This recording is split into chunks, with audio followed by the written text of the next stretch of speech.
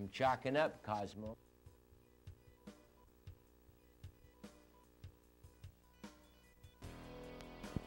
Hello everyone, Doc here. If you want to shoot a good game of pool, you're going to have to keep your stick level to the table, line up your shot, and have nice follow through. Isn't that right, huh? Okay, so here's what we have.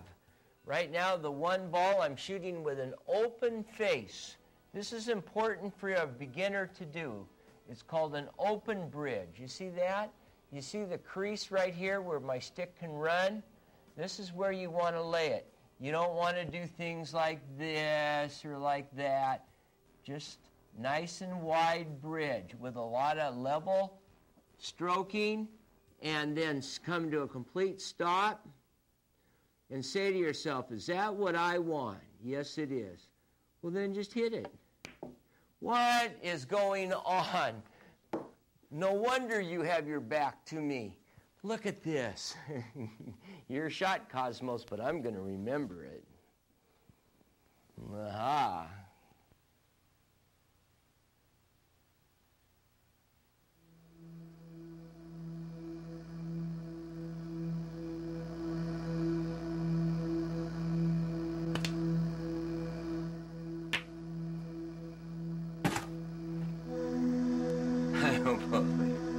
Cosmo.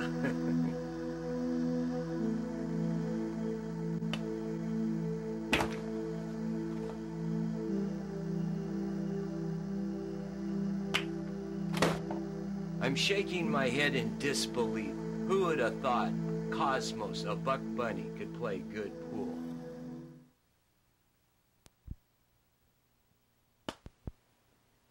Cheater. Nice shot on the eight ball, Cosmos.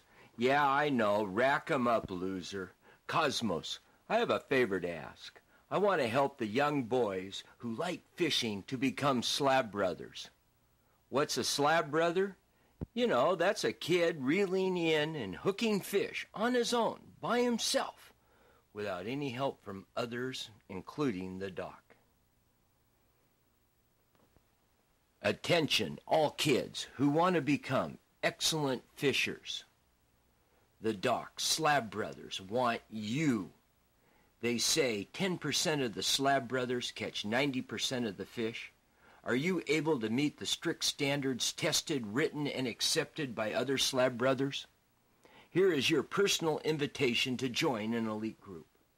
To become a Slab Brother, you must U.S. mail to the doc a handwritten letter a contract saying the rules and regulations of the respect you will show to others.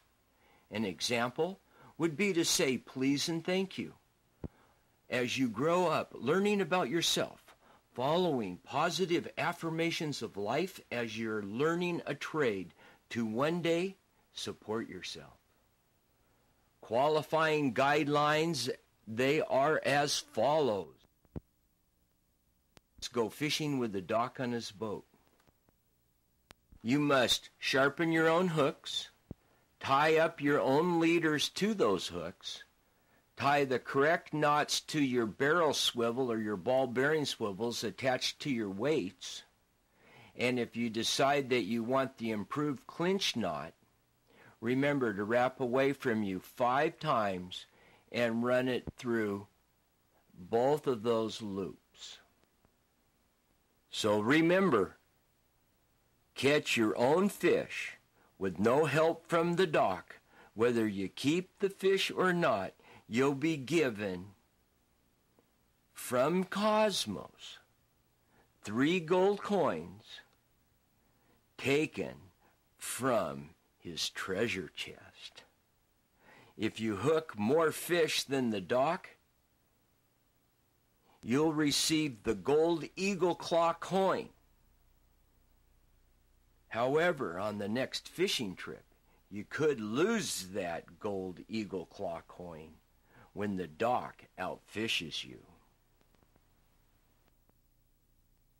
All slab brothers write a handwritten letter in your words about your fishing trip, the things you saw, the things that made you feel happy or sad, and add, if you would please, how you think a slab brother should act towards others and himself. Then mail it off to me at this address. Attention, Doc T. Hokey, 10211 Southeast Banner Lane, Olalla, the zip code 98359.